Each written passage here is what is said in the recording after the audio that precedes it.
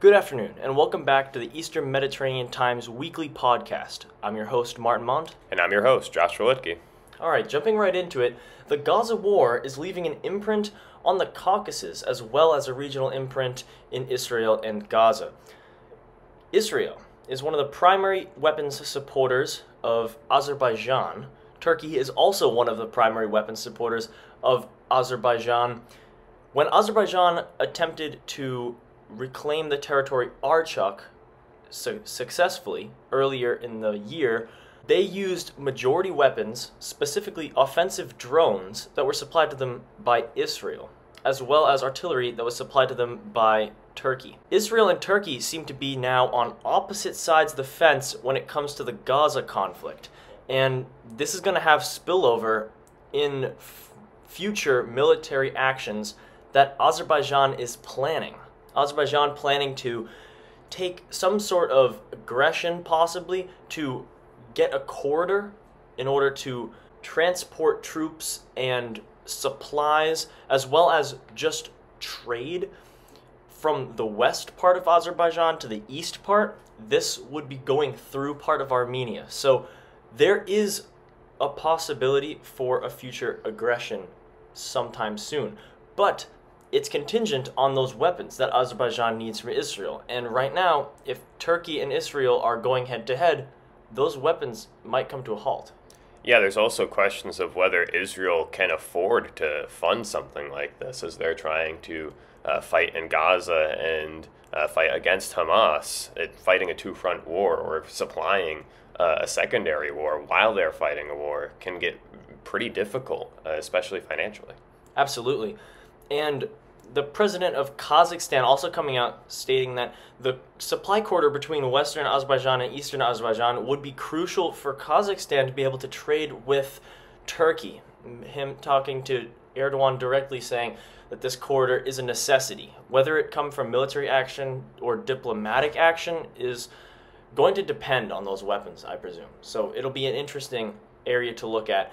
And again, war is devastating and any war based off of a supply line from east to west could result in ethnic conflict that's wider than just the scope of the war itself. Indeed. Shifting back to Gaza specifically, this week weekend, Secretary Antony Blinken made a visit. It was an unannounced visit to the Palestinian as- affiliate in the West Bank and he met with President Mohammed Abbas, and they discussed de escalation, as uh, Antony Blinken calls it, trying to reduce the violence, A, as the primary objective, and B, getting humanitarian aid into Gaza and getting refugees out of Gaza so that they can avoid future civilian casualties. Yeah, this has become pretty critical for the Biden administration, where you've seen both President Biden and Blinken pushing for a humanitarian pause to the conflict to allow for uh, more aid to get to the Palestinians and also to allow for hostages that are still in Gaza uh, to be rescued and evacuated from the area. Yeah, and the Prime Minister of Israel, Benjamin Netanyahu, has made it clear that a ceasefire, as a lot of the world meeting at the United Nations stated that they wanted in the region is unacceptable if those hostages don't get back to Israel. So the best case scenario for reducing the bloodshed right now is likely going to be Blinken's envision of a uh, reduction of violence. Yes. The other story coming out of Gaza is Jordan has been using their air force to drop supplies for Palestinians. And this includes gasoline, medical supplies, food, and it's going to be helping alongside those relief trucks that were going from Egypt to Gaza. And they've continued to go, but it's a slow trickle. And so this is definitely an added benefit to the people who are stuck there. For sure. All right, now moving to Greece. The Golden Dawn is rising from its ashes in a new right wing movement in Greece. Yeah, so we're seeing the comeback of the Golden Dawn, which was a political party that was banned from politics in Greece, mainly due to their criminal activities. uh, such as murdering leftist activists, union workers, and migrants on what they called night patrols. Uh, but we've seen these patrols starting to come back from other neo Nazi organizations uh, within Greece, uh, especially with the rise of the Spartan Party uh, in its politics, which won nearly 5% of the vote in the last election. Uh, we're also looking at more recently, there was clashes between protesters for the neo Nazi groups, uh, such as Golden Dawn, um, and also counter protesters who clashed, uh, claiming that these were obviously fascists. Uh, and looking to try to expel them in some way from their having this new political voice. Yeah, absolutely. And it's not something that's exactly specific to Greek politics. As we've seen uh, unsatisfaction rise among individuals and citizens of many countries across across the globe, we've seen a rise of populism. And populism has been ushering in a form of modern fascism when it gets into a government, and uh, this this is a worry for the Greek government for sure. Definitely, yeah. I mean, we're looking at countries like Hungary, countries like Slovakia, Italy. Um, numerous countries have been seeing a rise in these right wing factions across Europe uh, who are playing a more instrumental role in politics, even leading governments, not just being coalition partners. And this has definitely uh, created a lot of concern around the direction of democracy uh, and the direction of authoritarianism in Europe. Absolutely.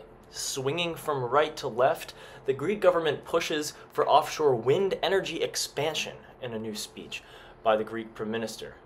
Yeah, so the Greek government has made it a national priority uh, to move forward with a two gigawatt offshore wind project that would supply power for about one and a half million homes in the country.